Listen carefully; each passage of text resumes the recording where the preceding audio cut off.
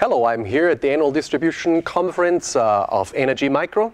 Uh, we are here to train and uh, educate our partners, representatives, and distributors about uh, the latest in gecko technology, differentiating peripherals, for example, like the low energy sense that really makes a difference for our customers.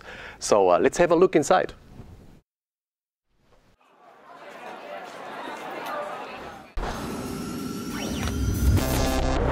Low energy sense allows conditional wake up.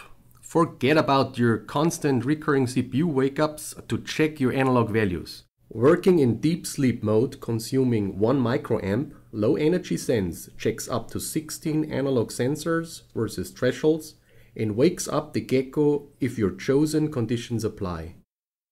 This works with any capacitive, inductive, or resistive sensor. I will then touch the sensor and then it wakes up immediately and you see uh, the current increases as it's uh, updating the LCD display as I scroll my finger on the touch. And you can also see the interrupts as they are occurring in the in the code.